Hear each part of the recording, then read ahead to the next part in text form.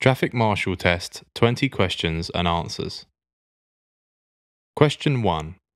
What is the purpose of a traffic marshal? A. To check all vehicles entering and leaving a site are roadworthy. B. To support the safe operation of vehicles and mobile plant on site. Or C. To prevent any accidents involving vehicles on site. The correct answer is B to support the safe operation of vehicles and mobile plant on site. Question 2. What does this hand signal mean? A. Danger. B. Raise. Or C. Lower. The correct answer is A. Danger. Question 3. What of the following is the most effective way of reducing the risk of injury from vehicles on site? A. Vehicles having warning lights and reversing alarms. B. Using road signs. Or C. Separating people and vehicles. The correct answer is C. Separating people and vehicles. Question 4. What does this hand signal mean? A. Too wide. B. Start. Or C. Stop. The correct answer is B. Start. Question 5. The most dangerous maneuver when traffic marshalling is A. Reversing, B. Parking, or C. Exiting a site. The correct answer is A. Reversing. Question 6. Do traffic marshals have to check that drivers understand hand signals before starting a maneuver? A. Yes. B. No. Or C. It's up to the traffic marshal. The correct answer is A. Yes.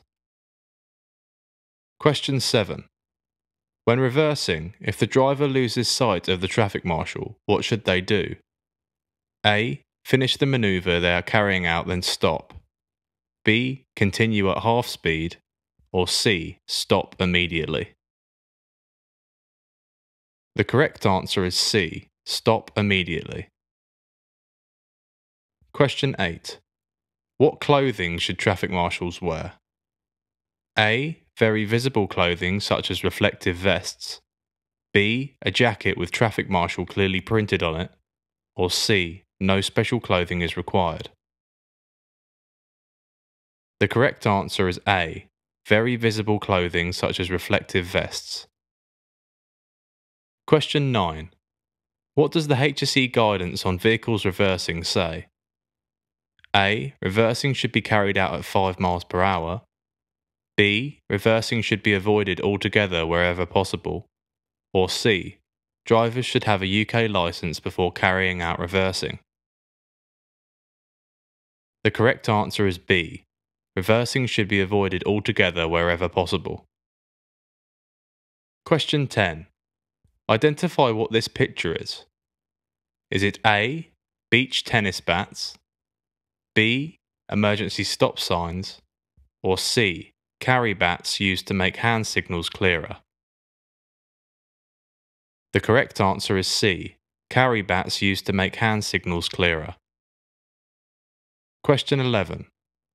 Which regulation requires traffic planning including the use of traffic marshals?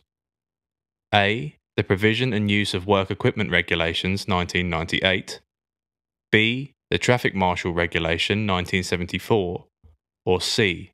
The Construction, Design and Management Regulations 2015. The correct answer is C. The Construction, Design and Management Regulations 2015. Question 12. What hand signal is this? A. Connect trailer B. End of operation, or C. Traffic marshal at rest? The correct answer is B. End of operation. Question 13. Can a traffic marshal stop traffic outside of a site? A. Yes. Or B. No. Only the police or someone authorised by them can regulate traffic on a public highway. The correct answer is B. No, only the police or someone authorised by them can regulate traffic on a public highway. Question 14. What is the purpose of a one way system on site? A. To allow traffic and mobile plant to move around more quickly. B. To avoid the need for reversing. Or C. To meet with current construction regulations. The correct answer is B. To avoid the need for reversing. Question 15. Which colour hard hat should a traffic marshal wear? A white, B, pink, or C, black? The correct answer is A, white. Question 16. What is the best course of action when traffic marshalling close to overhead power lines? A. Ensure the power lines are dead. B. Don't work within 2 metres of them. Or C. Ensure the vehicle is earthed. The correct answer is A. Ensure the power lines are dead. Question 17. What is mobile plant? A. Trees in a storm. B. Wheeled or tracked equipment that can be moved around on site. Or C. Equipment which is being delivered on the back of a truck. The correct answer is B. Wheeled or tracked equipment that can be moved around site. Question 18. How should traffic marshals communicate with vehicle operators? A. By shouting from a safe distance. B. By waiting until the vehicle is at rest, ensuring the operator can see them and then approaching. Or C. Vehicle operators should not be spoken to. The correct answer is B. By waiting until the vehicle is at rest, ensuring the operator can see them and then approaching. Question 19. How should traffic marshal hand signals be performed? A. Without delay. B. Concisely and clearly. Or C. However the traffic marshal sees fit. The correct answer is B. Concisely and clearly.